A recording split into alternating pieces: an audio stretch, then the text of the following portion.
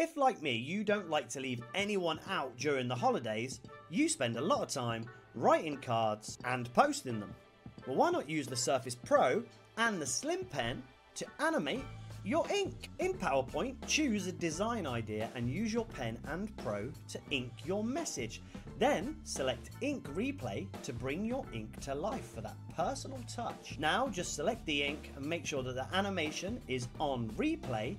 You can record using Snipping Tool your handwritten message. To do this, just simply hit Windows, Shift and S to launch Snipping Tool and then select the little camera icon drag the area that you want to record, click start to start the recording, start the animation and attach that to an email as a digital holiday card. Sustainable and it's got a personal touch. Now just send the emails. Nobody gets left out.